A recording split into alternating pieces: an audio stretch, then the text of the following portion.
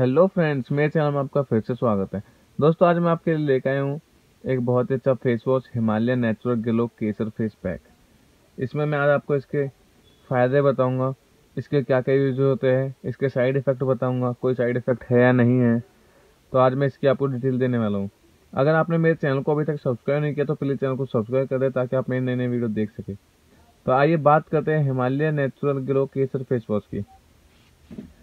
ये face wash आप इसको यूज़ करोगे तो ये फेस वॉश आपके जो एक्ने होते हैं फेस को क्लियर कर देगा, छोटे पिंपल्स होते हैं, उन सबको रिमूव कर देगा।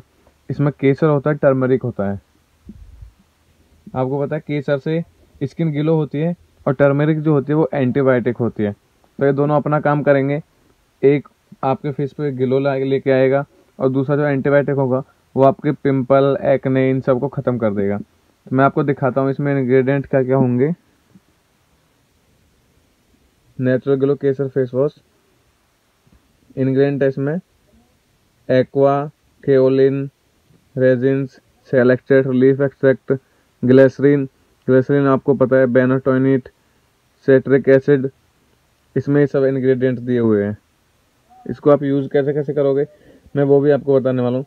Apply evenly over clean face and neck avoid the eyes around the eyes allow to dry for ten to fifteen minutes लगाने के बाद इसको आप 10 से 15 मिनट सूखने देंगे। फिर उसके बाद remove with sponge and wash the skin with cool water और ठंडे पानी से अपनी स्किन को साफ़ कर लेंगे। यूज़ वंस और ट्वाइस अ वीक हफ़्ते में आप इसको एक से दो बार तक लगा सकते हैं। ऐसा नहीं है कि आप इसको डेली यूज़ करोगे। इसकी M R P one thirty five rupees है।